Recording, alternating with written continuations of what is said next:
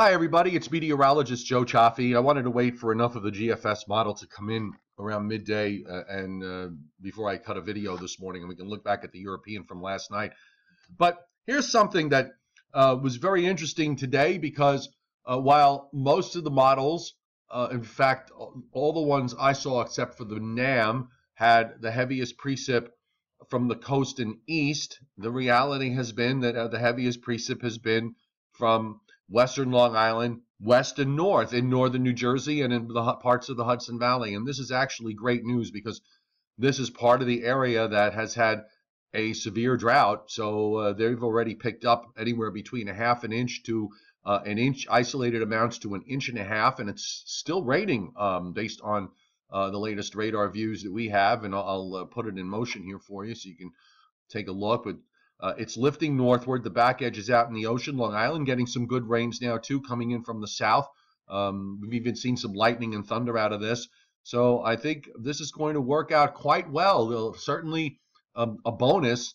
And actually, I want to also have it as food for thought going forward because you try and, and, and, and see model errors and see which ones work better. The European actually had a better idea with a surface low much closer to the coast where the GFS was way out to the east. So that's going to be something that I want to you know think about uh, when we uh, look at the uh, the future.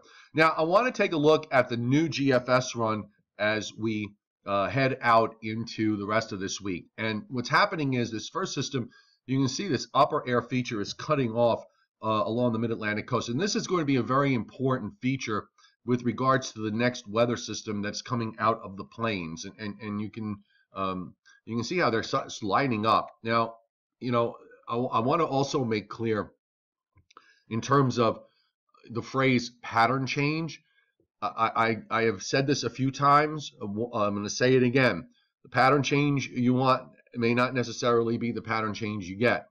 I would argue that the pattern has already changed uh, because we are now beginning to see weather systems moving across in the jet stream out of the Pacific uh, even though it has yet to turn colder. I think that part of the equation still has some work to do, uh, but uh, we may we will eventually, I think, get there, and it might only take us down to near normal when this is all said and done. So. You know, we're not talking Arctic cold here. It may just be that temperatures come down to normal or a little bit below, and that's the way it's going to be. But um, anyway, here comes the next weather system. Now, I've said the last yesterday, what the key is going to be with this is you've got this ocean system that's sitting out here, and that is going to be really the driver of this next thing because if this is a, is stronger and takes a little longer to get out of the way, this is going to force that energy to be further south.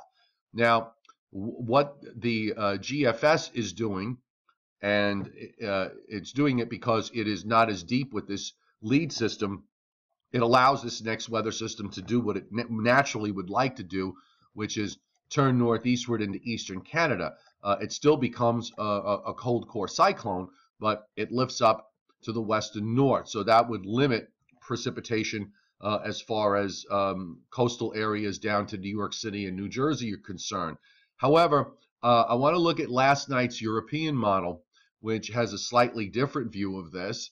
And if you look here, and I'm going to switch back, this is the European, and here is the new GFS for the same time frame. And you can see the difference from last night. The European has a much deeper system here uh, in the southern stream.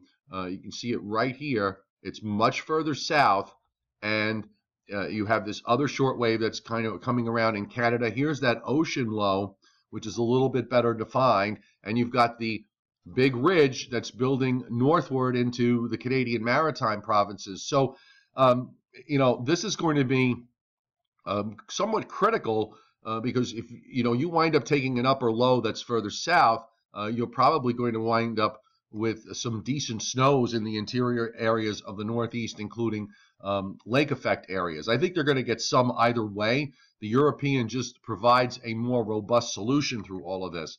Now, I'm not going to have the entire run, but we do see what the model has been telegraphing this kind of blocky look to it, uh, where you've got this ridge that's building up uh, over in, in, from the Atlantic up into Greenland. You've got this little vortex that's over here in the eastern in, in, in southeastern Canada, and you continue to start to see these weather systems that are plowing along in the Pacific jet and coming inland, and that's going to have implications, by the way, for areas away from the East Coast, which I want to take a look at because I know a lot of you are in different parts of the country, and I can appreciate the fact that you want to see your area too, and I, and I'm going to really make a cognizant, you know, really make an effort um, to try and pay, you know, give you a broad, a, a, bit of a broad brush view here of what's happening. So uh, we're going to be dry here in the east for the rest of the week. You can see, by the way, in the in, actually going to get some snow up in parts of the northern Colorado into Wyoming and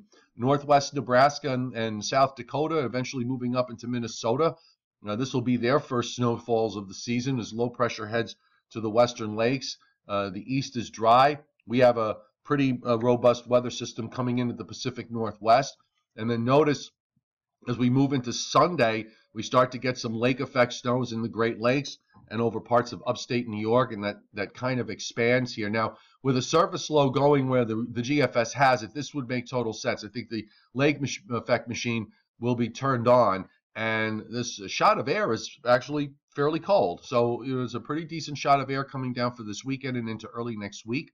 Uh, out in the west, uh, we've got this next weather system that's coming into the Pacific Northwest, so we'll have to see um, what what models do going forward with that. I'll, I'll, go back to the overnight run just real quick, just to show you. Uh, already, you can see a difference that this particular run is actually deeper with what's coming in to the west coast for the same time frame.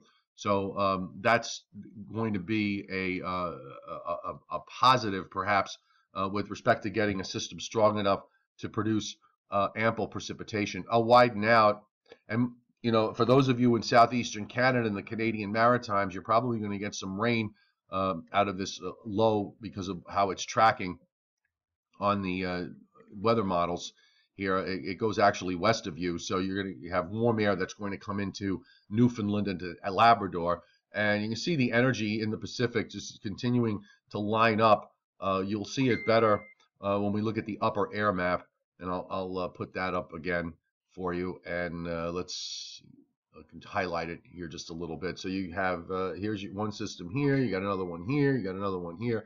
So it's kind of like a train and now we're just going to wait to see what the model does long term in terms of um, the overall blocking pattern because it was very, very blocky looking um, going forward. And all the indicators from the overnight continue to point in that direction. So we are seeing a pattern change. It is underway. Where we wind up with this, I don't know.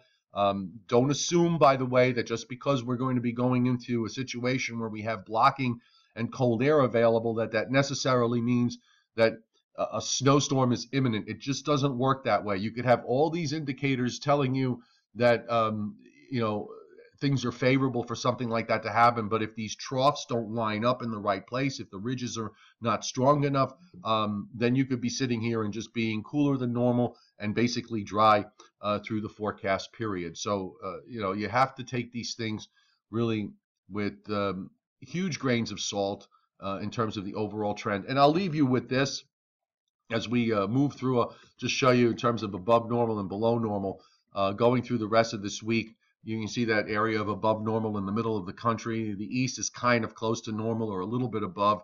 Uh, and then you start to get into the below normal temperatures this weekend. And then we move into Thanksgiving week. I only have through Tuesday, but you can see a large part of the eastern half of the United States is below normal. And also notice the shrinking areas of above normal going on uh, in Canada, telling us that you know there's colder air coming into the picture, and all of this, you know, this cold air displacement, the way it looks, uh, is being caused by the developing blocking pattern, and and you can see across the northern regions, particularly along the poles, this large area of above normal temperatures that just continues uh, there, and that is the driver for displacing cold air southward. So we'll take a look at what the afternoon models do. We'll look for a post on meteorologistjoecioffi.com uh, weatherlongisland.com. Angry Ben, Angry Ben's weather, and you'll see him popping up soon from time to time. Uh, he's got uh, nycweathernow.com, so you might want to check that out and check him out on Facebook. And don't forget SS Storm Chasers because when these snowstorms do start happening, they're going to be chasing them.